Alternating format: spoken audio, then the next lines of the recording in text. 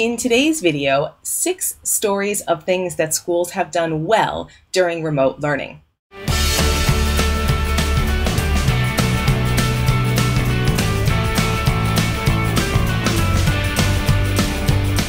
Hello, coaches! Welcome back to another episode of 5 Minute Friday. My name is Kim, and I am the premium mentor for the Coach Micro Credential. As you might know, here at Eduro Learning, we've been hosting lots of conversations with educators in international schools, primarily around Asia, but actually all around the world, that have been experiencing remote learning already for 10 weeks. So we've had a lot of opportunity to dig into what schools are doing well and areas that might be able to be improved. Today, we're sharing six personal stories from educators that we've featured in those conversations, highlighting one thing that their individual school has done well during this remote learning experience. All of the longer conversations can be found on our emergency school closures page, and I will leave the link for that in the description box below. I'll introduce each teacher as I share the thing that their school did well, and you'll get to hear from them directly. Six stories that schools have done well during remote learning starts with the first one testing. Whether it's doing trial closures or testing systems once school is closed, NIST International School in Bangkok, Thailand has been doing a great job experimenting and trialing and testing all the different aspects of school closure. And I'm going to let Ben Sheridan share how that's worked here in Bangkok.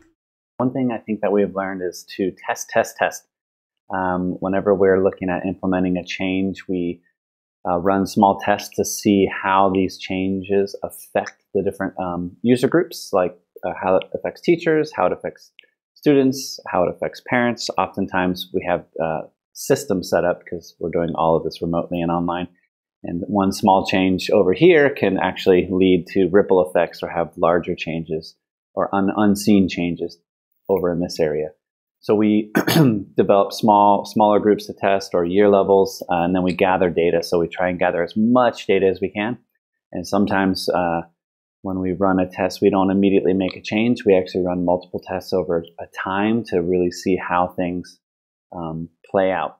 So, test and also patience. The second story of schools doing remote learning well is a consistency in rollout, whether it's across grade levels or experiences for the learning times that are developmentally appropriate for each student I'm going to let Pana Asavavatana of Taipei American School in Taipei, Taiwan, share how TAS did a great job with that.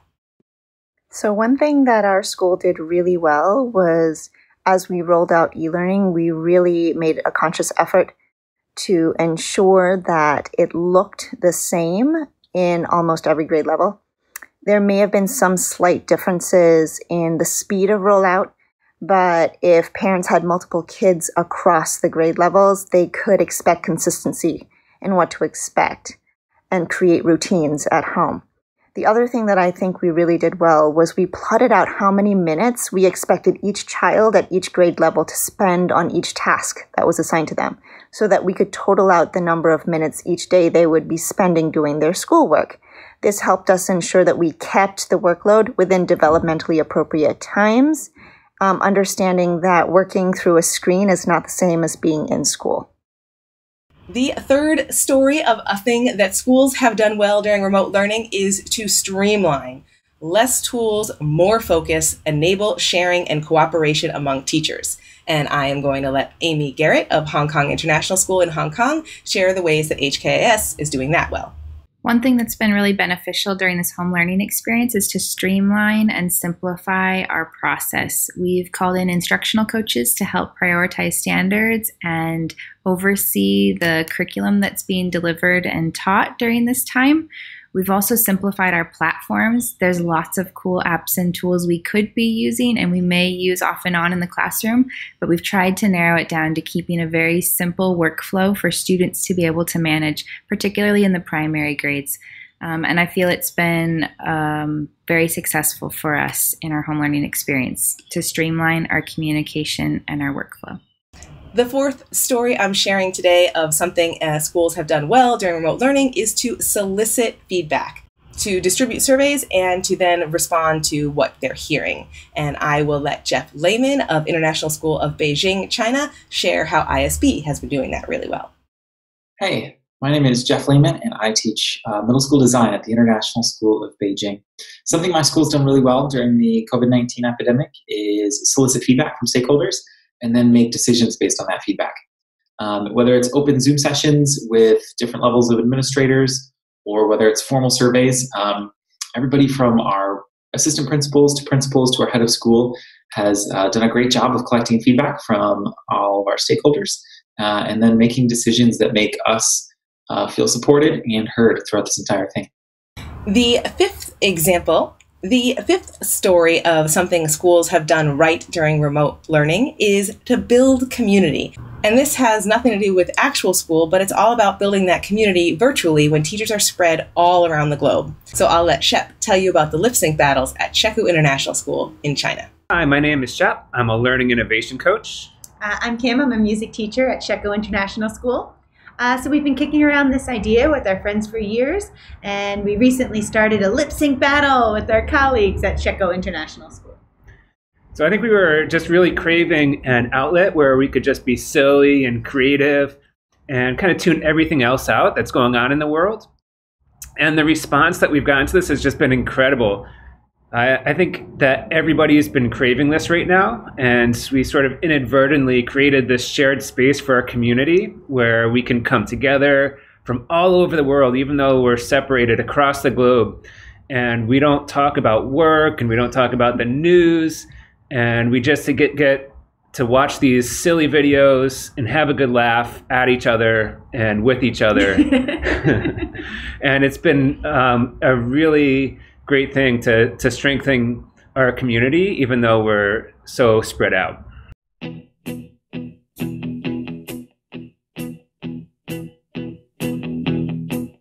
When I wake up, well, I know I'm gonna be, I'm gonna be the man who wakes up next to you. When I go out, yeah, I know I'm gonna be, I'm gonna be the man who goes along with you. If I get drunk, well, I know I'm gonna be, I'm gonna be the man who gets drunk next to you. And if I heaver, yeah, I know I'm gonna be, I'm gonna be the man who's heavering to you.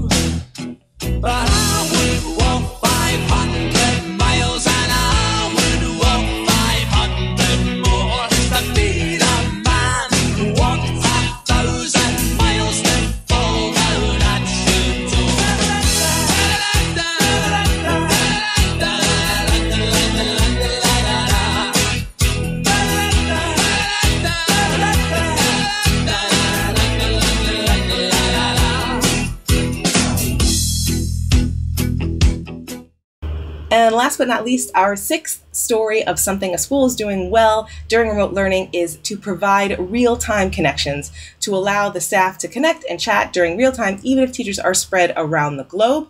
And I'm going to let Lissa Lehman of International School of Beijing share how ISB is doing that well. Hi, my name is Lissa. You might know me as the Director of Curriculum and Instruction and the Director of COETAIL for Eduro, but I'm also currently the Professional Learning Project Coordinator at the International School of Beijing. At the end of January, ISB chose to facilitate our e learning asynchronously. However, one thing that they have done well is provide opportunities for the community to come together in real time.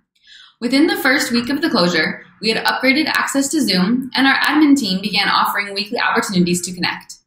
Our head of school hosts at least one live session for staff each week. These sessions have no agenda and are simply a time for us to gather as a community and ask any questions we might have. There is also a live session for parents each week, hosted by our head of school, principals, or director of learning. Our counselors host open sessions for staff in which we are able to connect and share our stories, successful moments, and discuss the struggles we are facing. Even though our staff is spread out around the world, these opportunities have helped us continue to feel connected to each other and be more present for our students. All right, those were six stories of things that schools are doing well during remote learning. They were to test and trial, to have consistency and rollout, to streamline tools, to solicit feedback, to build community, and provide opportunity for real time connections. Hopefully, hearing from teachers in schools that have been closed for much longer than anywhere else in the world right now gives you some ideas for how you can prepare for a longer term school closure wherever you are. If you have things that you think your school has done well, please share them with us in the comments below. And if you have questions about what these schools are doing and how they're doing them, let us know because we'd love to support you. And of course, if you want to see all of the resources that we have compiled around these emergency school closures since early in January, check out our emergency school closures page, and I will leave the link to that in the description box below as well. At Eduro, we have been humbled to have had educators from around the world join us in panel conversations and respond to our emergency school closures resources. We want to continue to support you. We know how challenging it is to be an educator right now. We know that school leaders and coaches are looking for ways to keep their community inspired and to relentlessly build community. That's why we've made our online course, Your Connected Classroom, free for you and your peers right now. You can find the link in the description box below.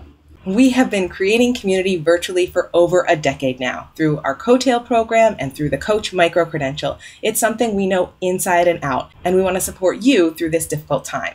Follow us at Eduro Learning or subscribe to the Coach Better podcast to continue this conversation. Thanks for watching, and we'll see you next week.